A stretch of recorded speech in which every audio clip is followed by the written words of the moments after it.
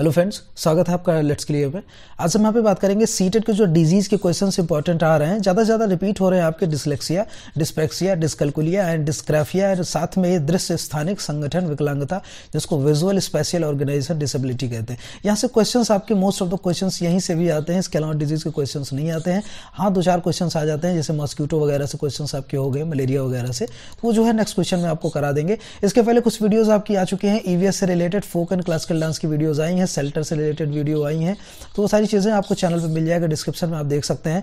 साथ ही Telegram group join कर लीजिए जहाँ पे आपको ये सारी पीडीएफ वगैरह मिलने वाली है। तो चलिए यहाँ पे स्टार्ट करते हैं। ये इंपॉर्टेंट चीज़ें इन चारों पाँचों में डिफरेंस क्या एक्चुअल में जिससे आज के बाद आपको कोई दिक्कत ना होने पाए।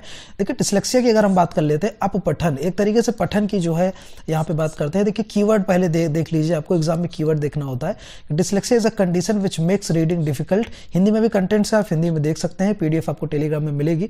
देखिए डिस्कलेक्सिया पे बताया जा रहा है, एक कंडीशन है जहाँ पे रीडिंग डिफ़िकल्ट तो यहाँ पे कीवर्ड आप बना सकते हैं, पढ़ने की जो दिक्कतें होती हैं, वो वो जो है डिसलेक्सिया में होने वाली है। यहाँ पे एक ब्रेन की फ़ोटो देख सकते हैं तो यहाँ पे आपको एक क्वेश्चन ये भी बन सकता है कि लेफ़्ट ब्रेन में आपको दिक्कत आएगी, ठीक है? Which part of the brain is affected by this dyslexia तो यहाँ पे आपको क्वेश्चन आ जाएगा लेफ़्ट ब्रेन जिसको कि बाई तरफ़ कहा जाता है है ना? बाई तरफ़ ऑफ़ द ब्रेन तो यहाँ पे आप देख सकते हैं फ़ोटो बच्चा जो है चिल्ला रहा है पढ़ने में। यहाँ पे देखिए कुछ और भी सिम्टम्स इसके हैं, देख लेते हैं। Create difficulty with other skills अच्छे जो स्पेलिंग करने में या लिखने में, पढ़ने में राइटिंग में भी आपको दिक्कत हो जाती है। पीपल समटाइम्स बिलीव करते हैं कि विजुअल इशूज है, लेकिन ऐसा कुछ नहीं है वॉचिंग लेटर्स में। सिम्टम्स क्या होता है? डिले इन स्पीच बोलने में जो है यहाँ पे समस्या होती है रिकॉलिंग में चीज़ें दिक्कत होती है, और नेमिंग लेटर्स में नेम करने में दिक्कत होती है बार बार दोहराने में नंबर्स एंड कलर्स को पहचानने में भी दिक्कत होती है, और मिसस्पेलिंग वर्ड्स को मिसपेल कर जाते हैं स्पेलिंग सही से नहीं पढ़ पाते। देखिए, इसमें तीन प्रकार की डिसलेक्सियास होती हैं primary secondary and trauma disease primary क्या होते हैं? कॉमन टाइप होते हैं, जिसमें जो है आपको डिसफंक्शन देखने को मिलेगा left side of the brain जैसे हमने आपको बताया। तो ब्रेन के लेफ़्ट साइड में आपको यहाँ पे देखने को दिक्कत मिलेगा। और रिमेन्स अनचेंज विद एज के साथ जो है, ये हमेशा ऐसे ही रह जाता है, ठीक है? सेकेंडरी और डेवलपमेंट डिसलेक्सिया क्या है? ये है developmental this type caused by problems with brain development during early stages और फटल डेवलपमेंट ठीक है? जब आपका ब्रेन डेवलप होता है स्टार्टिंग में, तभी ये दिक्कत आ जाती है आपको। तब जो है, ये चीज़ें हो जाती है सेकेंड्रिया हो गया। और ट्रॉमा डिसलेक्सिया की बात करें this type of usually occurs after some form of brain trauma injury होने के कारण जो है, आपको रीडिंग और राइटिंग में दिक्कत होने लगती है। तो ये सारी जो दिक्कतें हैं, ये डिसलेक्सिया में आपकी होती हैं। और कीवर्ड आपको याद कर लेना है। पढ़ने में और यहाँ पे वर्तनी में, लेखन में आपको दिक्कत होने लगती है, ठीक है? दूसरी चीज़ आ जाती है डिस्प्रेक्सिया। डिस्प्रेक्सिया आप फ़ोटो से, इमेज से थोड़ा सा आप रिलेट करिएगा। जब आपके जब आपके क्वेश्चन आए कि डिस्प्रेक्सिया होता क्या तो आपको ये फ़ोटो आपके दिमाग में होना चाहिए कि ये जो बच्चा है, इसको बैठने में कहीं ना कहीं दिक्कत हो रही है। मतलब फिजिकली कहीं ना कहीं जो है दिक्कत हो रही है। तो डिस्प्रेक्सिया में आपको फिजिकली फिजिकली जो है दिक्कत देखने को आपको मिल जाएगी, ठीक है?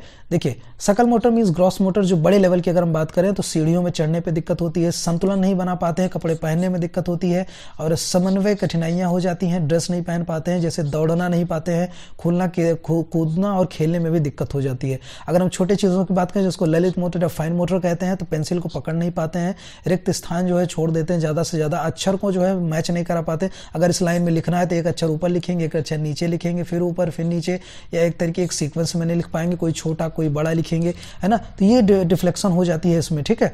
तो ये आपको समझ के रखना है मेमोरी डिफिकल्टीज में होती है, ठीक है? और फिर साथ में अगर हम बात कर लें स्पीच में इमेच्योरिटी होती है बात करने की, जो है छोटे मोटे सिंपल वर्ड्स में लोग बात करते हैं और चीज़ों को घुमा देते हैं, एक तरीके से प्रोनाउंसिएशन सही नहीं कर पाते हैं। ये जो है आप देख सकते हैं और मेमोरी स्किल्स याद करने में भी दिक्कत होती है। तो ये सारी चीज़ें जो है कंसनट्रेशन में दिक्कत होती है, ये डिस्प्रेक्सिया में आपको देखने को मिल जाती है।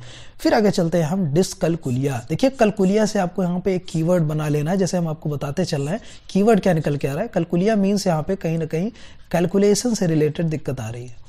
ठीक है? कैलकुलेशन एक कीवर्ड आप बना लीजिए तो जैसे गिनती देख सकते हैं। गिनती क्रम क्रम में गिनने में कठिनाई किसी संख्या रेखा या अनुक्रम के साथ आगे पीछे निगेटिव करने में कठिनाई आसानी से जगह खो देते हैं। मतलब जहाँ पे लिखा है फिर वहाँ पे ना लिख के स्पेस छोड़ के कहीं और चले जाते हैं। संख्यानात्मक निर्देशों का पालन करने में कठिनाई होती है। दो तीन आदि गिनने में कठिनाई होती है। यो, योग की गणना नहीं कर पाते जोड़ नहीं पाते गुड़क नहीं कर पाते गति समय चीज़ों को। अब जब जोड़ घटाव नहीं कर पाएँगे तो फिर फॉर्मूले वाली चीज़ें करना थोड़ा मुश्किल ही हो जाता है जैसे आप देख सकते हैं यहाँ पे तीन दो छः इनको कठिनाई होती है, ठीक है, इस गणना बनाने में, सिंपल सी गणना बनाने में भी कठिनाई यहाँ पे हो जाती है। बाएँ दाएँ में ये भ्रम रहते हैं दाइना कौन सा बाया कौन है, और समय बिताने में भी, घड़ी देखने में भी इनको जो है दिक्कत होती है। तो ये जो है डिस्कलकुलिया की दिक्कतें हो गई, और ये चीज़ें इंग्लिश में भी आप देख सकते हैं, ठीक है? फिर आगे चलते हैं यहाँ पे, चौथा आ जाता है हमारा डिस्ग्राफिया। डिस्ग्राफिया मीन्स कहीं ना कहीं ग्राफ से रिलेटेड चीज़ें आ रही हैं। ग्राफ मतलब कोई चीज़ बनाना। तो कीवर्ड आप यहाँ पे पकड़ लीजिए, कोई चीज़ फ्रेम करना, कोई चीज़ बनाना, है ना? तो ये जो है आपका कीवर्ड हो जाएगा। अब यहाँ पे चलिए बात कर लेते हैं। In inability to write लिखने में दिक्कत characterized with illegible handwriting सही नहीं होती है। चीज़ों को ग्राफ नहीं कर पाते हैं सेम एज उतार नहीं पाते हैं। कॉपी करने में इनको दिक्कत होती है। Dysgraphia is a learning disability characterize by writing difficulties such as impaired handwriting poor spelling and problem selecting correct words को ढूंढ नहीं पाते हैं। ठीक है? ये चिल्ड्रंस और एडल्ट दोनों में हो सकती है। तो क्वेश्चन आ सकता है कि क्या ये किसको इफ़ेक्ट करता है? चिल्ड्रन को करता है। या आपको एडल्ट को करता है तो उस क्वेश्चन में आपको दोनों बोथ का ऑप्शन यहाँ पे सेलेक्ट करना होगा। देखिए, हिंदी में भी है, लिखने में असमर्थता होती है, स्पष्ट लिखावट नहीं कर पाते हैं, विचारों को लिखने परेशानी की विशेषता भी हो जाती है। तो अगर कॉमन कॉजेज की बात करें dysgraphia is not always related to underline conditions इसमें फ़िज़िकल ट्रेमर हो सकते हैं और हेड इंजरी या ट्रामा भी आपका हो सकता है। इस कारणों से भी डिस्ग्राफिया तो आपको मोटा मोटा चीज़ यहाँ पे पता लग गया और फिर पांचवे चलते हैं यहाँ पे जो लास्ट है, हमारा वो है विजुअल स्पेशियल डेफिसिट ठीक है? तो विजुअल स्पेशियल डेफिसिट जो होता है आपको इन एबिलिटी टू इंटरप्रेट चीज़ों को समझ नहीं पाते ऑर्गेनाइज नहीं कर पाते एनालाइज नहीं कर पाते सिंथेसाइज नहीं कर पाते। ये चीज़ें जो है visual message in absence of visual impairment यहाँ पे देखने की जो है, देख के कोई काम करने की चीज़ें आ रही है। है ना? देख के करने की दिक्कतें यहाँ पे आ रही हैं। ठीक है? Students poor handwriting and art work art बना नहीं पाते हैं चीज़ों को, ठीक है? जैसे कि आप ये यहाँ यहाँ पे एक फ़ोटो देख सकते हैं तो ये अगर फ़ोटो है तो अगर जो यहाँ पे विजुअल स्पेशल डेफिसिट वाला इंसान है या बच्चा है तो वो जो है इस तरीके से चीज़ों को यहाँ पे कंपेयर करेगा। एज इट इज़ चीज़ें नहीं यहाँ पे मैच करा पाएगा। ठीक है कीवर्ड आपको पकड़ना है कि स्टूडेंट्स मैपिंग ग्राफिंग ग्राफिंग वाली चीज़ें हैं तो वीक होती हैं।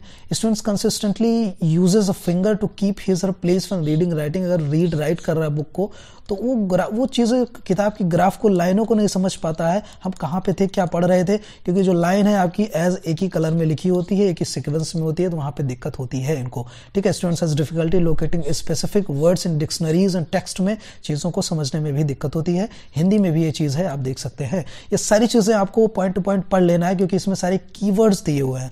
हमने हाईलाइट कर दिया जो मोस्ट इंपॉर्टेंट की थे, उसको हमने हाईलाइट कर दिए हैं, जिससे आपको दिक्कत ना हो। और एग्ज़ाम में कुछ इसी तरीके के की पूछे जाते हैं, ठीक है? तो ये आपका पांचवा होगा विजुअल स्पेशियल डेफिसिट तो आई होप आपको पाँचों चीज़ें यहाँ पे समझ में आ गई होंगी और आपको कंसेप्ट समझ में आया होगा कि पाँचों में अंतर क्या है। इसके अलावा अगर कोई क्वेरीज फिर भी रह जाती है तो आप कमेंट बॉक्स से कमेंट करके हमको बता सकते हैं। साथ ही ये टेलीग्राम ग्रुप ज्वाइन कर लीजिए डिस्क्रिप्शन में लिंक है जिससे आपको सारी पीडीएफ वगैरह मिल सके।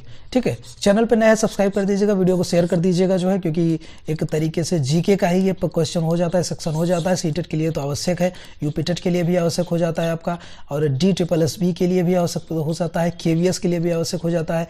तो इसको शेयर कर दीजिएगा ज़्यादा से ज़्यादा, और फिर मिलते हैं नेक्स्ट वीडियो में। Thanks for watching